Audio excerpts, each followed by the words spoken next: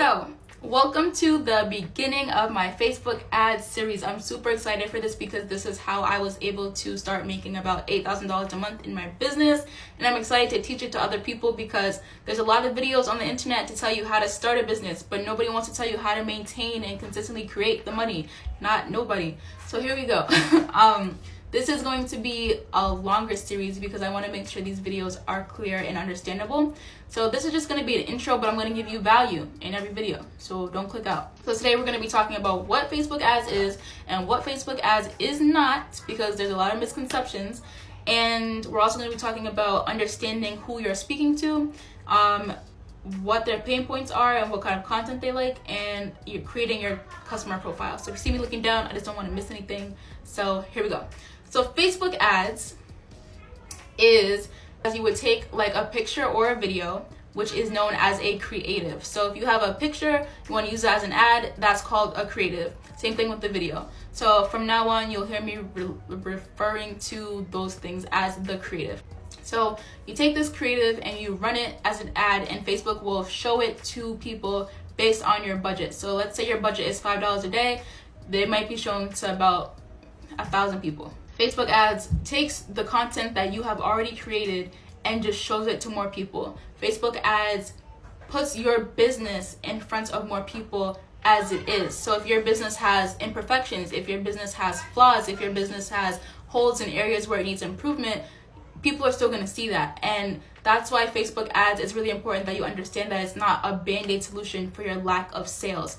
Facebook ads only aids and is a tool and a resource to increase your sales if your business is in a position to have their sales increased, right? So let's say you have you're creating content but the content is not resonating with your audience. You take that content that's not resonating with your audience and you run it as an ad, it's not going to get clicked on. Nobody's going to come to your website because you need to work on creating better content first. You know what I mean? But that this is good because Facebook will really tell you and really show you where the problems in your business are. So that's what I really like about Facebook ads is it does help you diagnose those problems a lot quicker versus if you're just trying to figure it out on your own. And a good way to test if you're creative is good and should be used as a Facebook ad is just to post it to your Instagram or Facebook page organically and see if it picks up. Some posts will obviously do better than others and the ones that have a lot of engagement are the posts you want to use as a Facebook ad. So I like to see you know, some shares, about six shares with my following, maybe like 10, 15 saves. Um, that's what I really look for in some comments. You definitely want people commenting. That's a good sign that that creative is going to do well as a Facebook ad. So understanding who you're talking to. What kind of business do you have? I have a natural hair care business. So I'm talking to black women. But you're also thinking about how old are these women? Where do these women live? Are you talking, as you're following mostly based in Atlanta? people who live in Atlanta and people who live in New York, they communicate differently. So you might want to change your marketing and your communication based on who you're speaking to. Personally, I don't do that because while I do have a large following in like Florida and New York, you know, I'm speaking to people all over the United States and I'm more so speaking about their pain points. But if you have a like a business that's based in Atlanta, you might want to make sure you're speaking to people in a way that would resonate with them and be as human as possible. So that's just something to consider.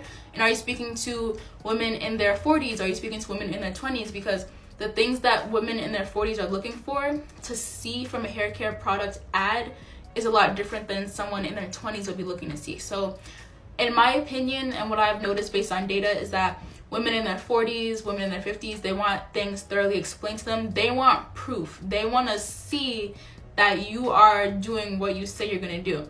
So, but then people in their 20s, they're just like, does it look good? Is it catchy? Like, is it super quick? You know, things like that. So, really creating content for who you want to buy your product. So, and also, I think people in their 40s and 50s want things to be explained to them. They want to see thorough explanations. They want to see some facts and some knowledge like you are also knowledgeable on the product and why should people buy from you they're looking for credibility versus where someone in their 20s someone a little bit younger is not necessarily looking for all of that because they haven't had the bad experiences in buying products yet so um, make sure that you're creating content based on those things. Maybe your content should be a little bit longer, or should your content be a lot shorter because your audience is a lot younger.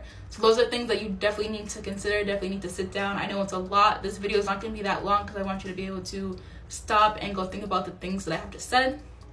So that is number one. What kind of content are you going to create? Long content, short content, informational content, um, educational content, or just like entertainment content. So that's step one. You can create all of them actually. You should batch create content and try different things. Next, you need to know what the pain points are. You need the specific pain points. For example, people that I'm speaking to, they have dry hair. So you don't want to just like necessarily say dry hair. You want to make sure you're using the words and describing it how they would describe it. Or like for example, I have a flaxseed gel that is the most amazing flaxseed gel on the market, truly. It doesn't flake. It doesn't leave the hair crunchy or dry. It doesn't leave their hair hard or stiff. So those are things you want to communicate in your ad and in your ad copy. We'll get into ad copy in a later video, um, which is just the words that people are reading. You want to make sure you're communicating that and not just saying, I have a flaxseed gel and it's amazing. You want to say, you want to make sure you're showing your hair is not going to be stiff, your hair is not going to be flaky, and then you also want to communicate that with your copy. So you need to know the pain points because that is the whole reason people are going to buy. People also buy if you're like entertaining, but you definitely want to show if you have a product what the heck your product does. People are just not going to be like, oh, I just happened. This is my work area. Oh, flaxseed gel? Okay, like nobody cares. You need to show people me doing this, me applying it to my hair, and you need to know what people want to see. So what I find does the best is that close-ups of my curls, close-ups of curls in general, product like you know applying it to my hair. People want to see the curls up close. They want to see what my hair is looking like because they want to know what their hair is going to look like when they use my products. You see what i'm saying? So if you have you know clothing you don't want to just show the clothing on a white wall because nobody's going to click on that the competition is strong. You want to show the clothing on you do poses maybe show yourself happy or whatever. Definitely do the research in your niche to see what's performing well. That's another thing. Go on your competitors pages. What post has the most engagement? What post has the most comments? And recreate that for you and yourself. It doesn't always work but it'll sometimes give you amazing results um, you need to know what kind of content that they like to see because you need to be able to duplicate that. I know that a lot of people in my industry they like either really short content with close-ups of the hair or they like thorough explained videos. And you might have to recreate a video three or four times saying the same thing but saying it differently. And before you find the one that like does really well with Facebook ads. So it's definitely going to be a lot of testing. Sometimes you can make one video and it does super well. Sometimes you might need to make a video four times saying the same thing different ways in different parts of your house, outside, whatever, before it resonates with your audience. So that is super important, understanding that it does take time to create a good creative. But the more you do it, the more you know and the stronger you are with knowing what your customer wants to see and what they want to hear, the easier it's going to be able the easier it's going to be for you to be able to rinse and repeat this process. So I hope that makes sense. So now knowing that, what you want to do is create a customer profile. So you can do about three or four or however many you feel like is a good amount, just with different customers and what they like. So for example, you can have a customer, she's 25 years old. What does she read? What does she watch? What does she wear? Where does she shop? Where does she eat? Where does she live? And you want to write all these things down and so that when you're running ads you can know who to target. So when you're running ads you can select to target people based on if they like the shade room if they shop at h&m if they like wigs or whatever. And these are different things that you're going to want to test to see which audience brings you the best results. So and then also you want to know who you're talking to when you're creating the ad. You want to have that in mind before you even start working on the ad. So that's definitely going to be able be good for you to visualize and to look at while you're working while you're creating um, I generally find that doing broad testing works better, but we're gonna get into that in a later video so I can show you what it looks like.